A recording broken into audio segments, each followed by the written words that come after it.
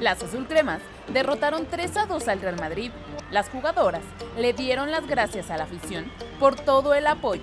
Vimos a Sabrina Enciso, Kiana Palacios, Mía Suazua, pero el entrenador Ángel Villacampa sostuvo una larga charla con algunas merengues. ¿Será que por ahí nos den la sorpresa y se fiche a otra extranjera?